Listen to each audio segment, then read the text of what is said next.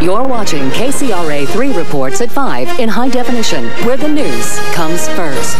With Dave Walker, Lois Hart, Chief Meteorologist Mark Finan with your KCRA 3 Weather Plus forecast, and Livecopter 3 HD. This is KCRA 3 reports at 5 in high definition. And now let's check on what we're working on tonight at 11 on KCRA 3. Gulstan Dart in the newsroom. Gulstan? Yeah, we got a lot coming up, Dave, and Lois. The bad economy maybe keeping people from flying home to see loved ones, but they're not cutting out all spending. KCRA 3's Richard Sharp is going to show us how people and families are not skimping when it comes to tradition, even though we're in tough times right now. That's coming up tonight at 11. All right, Gulstan, and we couldn't get out of here on our last day without letting Walt Gray spring for a meal. Big time. He even provided candles and a tablecloth.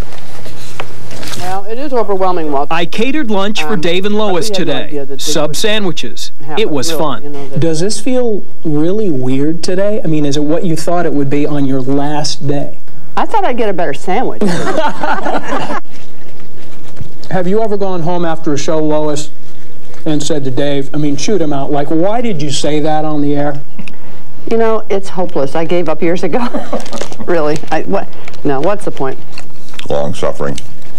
Dave said he was initially smitten when he saw you. When you first saw Dave, did you think, I got to have that It was definitely wow at first sight. for you? Yeah. But as you told me, Lois uh, was dating a gentleman in the Bay Area. Yeah, and I, s- I counseled her. I said, why are you doing that? She would drive this guy in the Bay Yeah, Area. you I want to be with me. I'm right? here. Yeah. you know, why are you wasting your time? with things? I thought you were brighter than that. Mm-hmm. Do you think when you guys retire, you're going to sell hot tubs on the air? Those aren't hot tubs.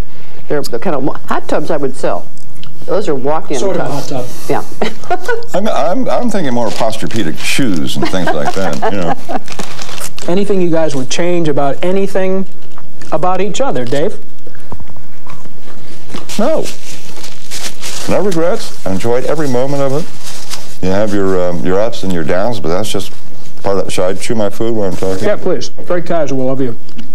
I just feel really blessed, not only with the career and with uh, What's her name? working with Lois. the Yeah, blonde Lois. over here, yeah, Lois, and um, you know, working alongside her, and her uh, co-anchor and partner in life.